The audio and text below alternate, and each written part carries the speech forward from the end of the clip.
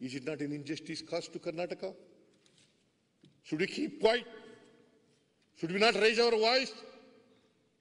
ಮನೆ ಅಧ್ಯಕ್ಷರು ಅದರಿಂದ ಇವತ್ತು ಕರ್ನಾಟಕಕ್ಕೆ ದೊಡ್ಡ ಅನ್ಯಾಯ ಆಗಿದೆ ತೆರಿಗೆ ಪಾಲನಲ್ಲಿ ಅನ್ಯಾಯ ಆಗಿದೆ ಆಮೇಲೆ ಇನ್ನೊಂದು ಹೇಳಿದ್ರು ಬಸವರಾಜ ಬೊಮ್ಮಾಯಿ ಸಿದ್ದರಾಮಯ್ಯನವರೇ ಮುಖ್ಯಮಂತ್ರಿಯಾಗಿದ್ರು ಹದಿನೈದನೇ ಹಣಕಾಸು ಬಂದಾಗ ನಾನಲ್ಲ, ಕುಮಾರಸ್ವಾಮಿ ಅಧ್ಯಕ್ಷನಾಗಿ, ನಿಂತ್ರಿ ಮುಖ್ಯಮಂತ್ರಿ ಆಗಿದ್ದರು ಎರಡ್ ಸಾವಿರದ ಹತ್ತೊಂಬತ್ತರಲ್ಲಿ mister Kumaraswamy was the chief minister ಹದಿನೈದನೇ ಹಣಕಾಸಿನ ಆಯೋಗ ಬಂದಾಗ ಕರ್ನಾಟಕ ಬಂದಾಗ, ನಾನು one mister Reddy fourteen finance commission chairman ಎಂಥ ರೆಡ್ಡಿ ಅವರು?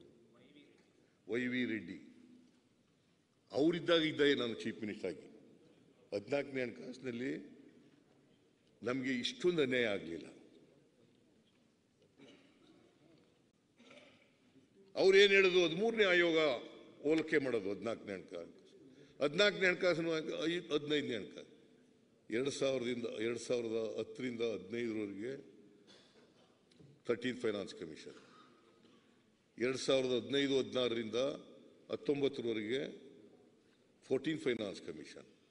ಎರಡು ಸಾವಿರದ ಇಪ್ಪತ್ತು, ಇಪ್ಪತ್ತೊಂದರಿಂದ ಇಪ್ಪತ್ತಾರರವರೆಗೆ ಫಿಫ್ಟೀನ್ ಫೈನಾನ್ಸ್ ಕಮಿಷನ್. ಆಮೇಲೆ ಪರಿಹಾರ ಕೊಡೋದು ಇದೆಯಲ್ಲ ನಮಗೆ? ನಮಗೆ ಹದಿನಾಲ್ಕು ಪರ್ಸೆಂಟು ಪರಿಹಾರ ಕೊಡಬೇಕಾಗಿತ್ತು. ಜೂನ್ ಇಪ್ಪತ್ತೆರಡಕ್ಕೆ ನಿಲ್ಲಿಸ್ಬಿಟ್ಟು ಕಳೆದ ವರ್ಷ ಬಾಕಿ ಕೊಡಬೇಕಾಗಿದ್ದಂಥ ಸುಮಾರು ಇಪ್ಪತ್ತು ಸಾವಿರ ಕೋಟಿ ರೂಪಾಯಿ ಕೊಟ್ಬಿಟ್ರು. ಹೆಚ್ಚಾಗಿ ಕೊಟ್ಬಿಟ್ಟಿದೆ ಅಂದ್ಬಿಟ್ಟು ನಮ್ಮ ಹತ್ರ ಹಿಡ್ಕೊಂಡ್ಬಿಟ್ರು ಈ ಸರಿ ಒಂದು ಸಾವಿರ ಕೋಟಿ ಚಿಲ್ಲರೆ.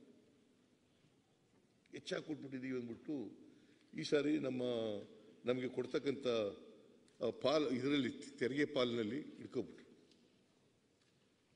what is this? Is it not in injustice caused to Karnataka Should we keep quiet? Should we not raise our voice ಇವರು ಇಷ್ಟೆಲ್ಲ ಅನ್ಯಾಯ ಆಯ್ತಾ ಇದ್ರು ಕೂಡ ಕರ್ನಾಟಕಕ್ಕೆ ಭಾರತೀಯ ಜನತಾ ಪಕ್ಷದವರು, ಜೆ ಡಿ ಎಸ್ನವರು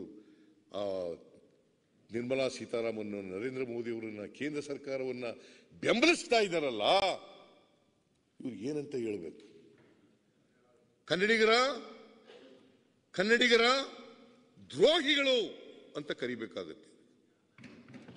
ಕನ್ನಡಿಗರ ದ್ರೋಹಿಗಳು ಅಂತ ಕರಿಬೇಕಾಗುತ್ತೆ.